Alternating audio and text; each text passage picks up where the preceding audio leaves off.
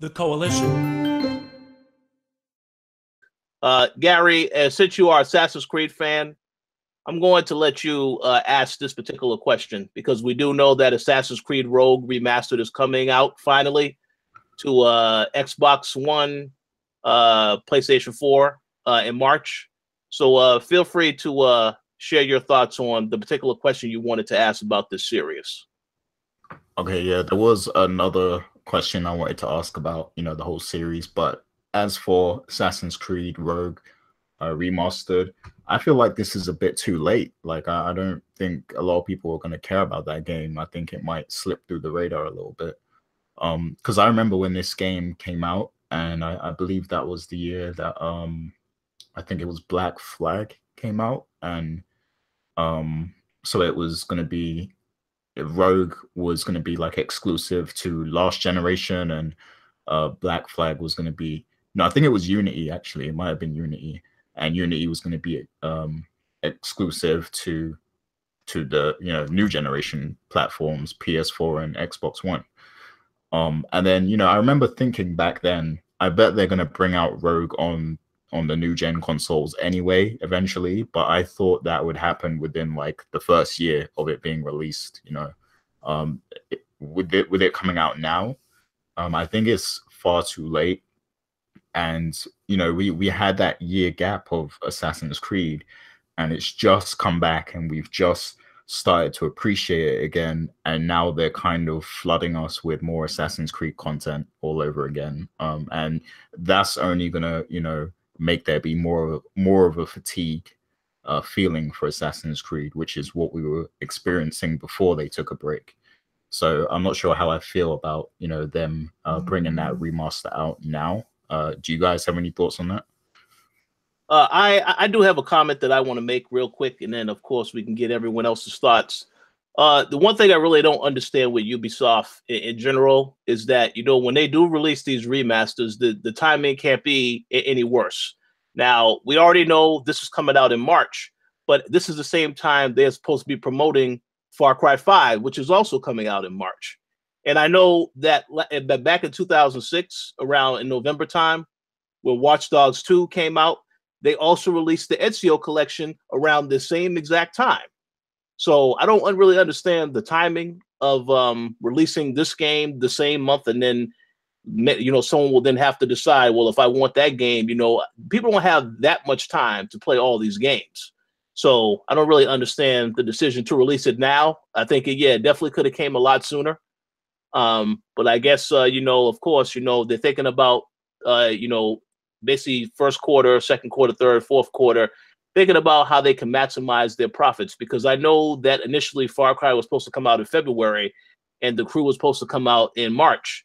Now, uh, of course, they delayed the game by a couple more weeks. Uh, and I think the crew is now coming out in the second quarter of the year. So maybe this is why they did that. I have no idea. But um, yeah, I, I think a lot of people wanted this game because I, when it initially came out, it was only on uh, the last gen consoles. Uh, right now, uh, I mean, I could say that I am intrigued by the game. I really don't know if I would have the time to play it though, because there's going to be other stuff out in March that I want to play. But yeah, maybe a little overkill with the fatigue, but I think that this was done as a business decision to just get as many games out as possible uh, for that for, for the uh, first quarter of the year. But uh, I don't know if uh, Mr. Lugo, you have any thoughts on this particular topic? Honestly, I'm with you on that one. It's just a business decision. Why not? I mean, they have Far Cry 5, which is brand new, which is again, it's going to appeal to Far Cry fans or Ubisoft fans in general. They have other stuff that they've already released through them that's on like platforms like the Nintendo Switch and other places, you know, PS4 and Xbox One. So they have a lot of new stuff right now and they have new stuff coming down the pipeline.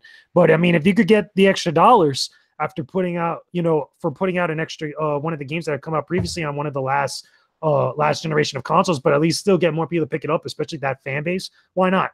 I mean, it's not predatory in the sense of what we've seen with other remasters or re-releases where it's like, okay, why is this getting specifically a remaster or re-release? Like it's I don't think it's that bad like that.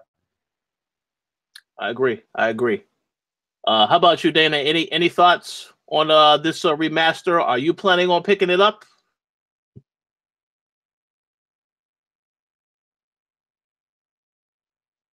Sorry, I was muted. Yeah. Um, no, I just don't really care for for for it that much, and I don't being remastered. But there are people who are Xbox 360 still when I still own it. So for me, it's not anything that I'm really caring about. But for other people who do and they want to, you know, want it for the 4K for you know their collection, I think it's a wonderful idea. Said this is a business decision, and it's all about the money. And if you can the game and it's the same stuff, and you know people are, are wanting it, it's for people. It's I think that it's for you know people who really wanted it, who you know because it was the last. Why not do it? I think it's great, but at the same time, don't be distracted. Five comes out. Absolutely. Okay, Gary, you had another question you wanted to ask about Assassin's Creed also. Yeah, so um like we know that, you know, the first 3 or I don't know, might be like 5 because there was some other games that came out between, but yeah, um from Assassin's Creed 1, 2 and 3, there was, you know, an overarching storyline that in involved Desmond um, and then you know they kind of botched it in Assassin's Creed 3 and it wasn't you know it wasn't um, as good as it could have could have been. Um, but you know in the games that came out even after the whole Desmond thing concluded they've still kind of tried to include the the the, the sci-fi narrative like the whole you know um this is your ancestor kind of thing um, and like, do you think it's just it's time for them to just remove that completely now and stop going back to it because it's really not that good and it doesn't actually add much to any of the Assassin's Creed games at this point. Like, I would rather it's just okay. This game is going to be set in this country in during this period of time. That's it. Like, just you know, you're this character. Go ahead. Like, there's no reference to sci-fi world or to the modern world, to the future or whatever like just it's just that setting you know? I think they should just do that because that's really all people care about. A lot of people actually see you know assassin's creed games as um, something that can teach history you know? And um like it can give you a, a sense of what actually occurred at different points in time throughout you know history and stuff. And i think that's really its selling point. So they don't need to keep going back to the whole sci-fi current world kind of theme because um, what attracts people is that whole history thing, you know. So, do you guys think it would be better if they just scrapped the sci-fi stuff completely? Yeah, uh, one comment that I will make on that, uh, I haven't really played uh, really much of Origins. I, I, I mean, I, I don't think any of that is in Origins, but I could be wrong. Uh, based on what I played so far, it, it doesn't look like it's it, it, it, you know, is going way into the future. Um, but again, I, I, I haven't played enough of it to know whether or not that is the case for the whole game. Um, I think they definitely should scrap it though, because the original concept, they have already when they decided to kill Desmond, that concept was was done. So um, I think they should scrap it and just stick to making it about the historical different things that happen in historical timelines. But that's just my opinion. The, the problem with me is that the game, it's the series, it's reality. So when you start adding in all the science fiction element, it seems to take it out of that element. It's this whole different, and I don't like it. You know, and it makes the storylines even more ridiculous loses me. So I think that they should completely remove it. Yeah, and um, I can confirm as well that Origins actually does have a modern day um, story involved in it. Oh well, okay, yeah, okay, yeah, you're right then. Yeah, you're right about that. Then they, they need to get rid of that. yeah, I don't know. I mean, uh, yeah, we'll, we'll we'll see what they do with the series. I mean, I, I know that initially, I think they said they will. Eh, you know, the next Assassin's Creed it won't be for like another couple of years, so maybe this will be a regular thing. I mean, not not not and not uh, counting this remaster. I mean, this is definitely coming out, but the next new game, I don't think that's going to be for maybe a couple of years, but who knows with Ubisoft, they may change that up. I have heard that uh, there will, of course, be another Watch Dogs, and that'll probably get announced at E3 later this year. But uh, that's about it, you know. But yeah, as for Assassin's Creed, I don't know what they're going to do with this stuff. But uh, yeah, I think they should get rid of the sci-fi stuff and just focus on making it the historical pieces for each game with no connection whatsoever. Then they would have more freedom to do other stuff and not having to worry about, well, now we have to explain how this person is related to another person and another bloodline. So, yeah, but we'll see. Uh, any other thoughts before we uh, move on to the next topic?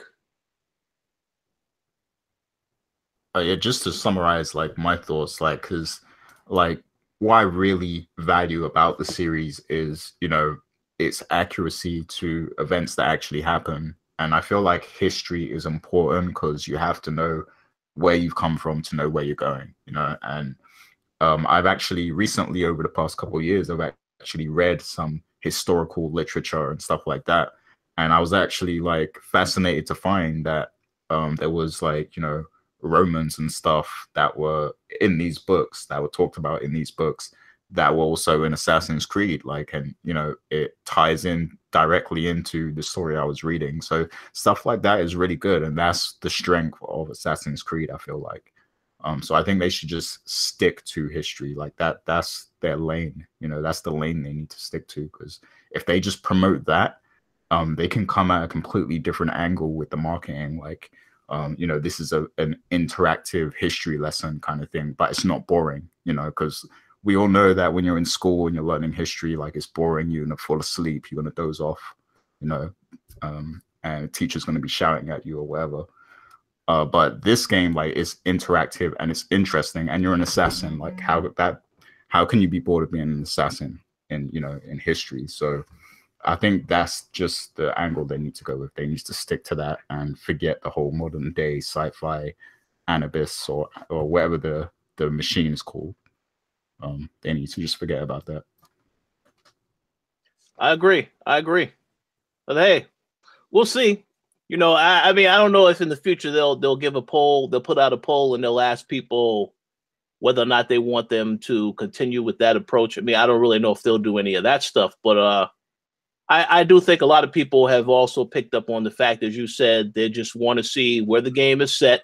Is not worried about any ties it has to the present, but uh, uh, Friday at the television's winter press. hey Dana, you're uh, Is that Yeah. breaking news or something? Story. Sorry. yeah, it's a bit of a uh, yeah. We heard we heard you on the other end, so you're fine now. Um, yeah, but we'll we'll see we'll see what happens with the series. That, that's all I'll say.